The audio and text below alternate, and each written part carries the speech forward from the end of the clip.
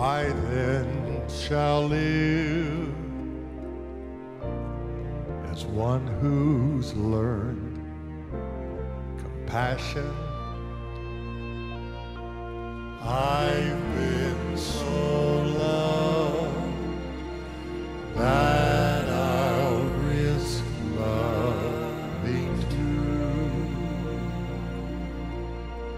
I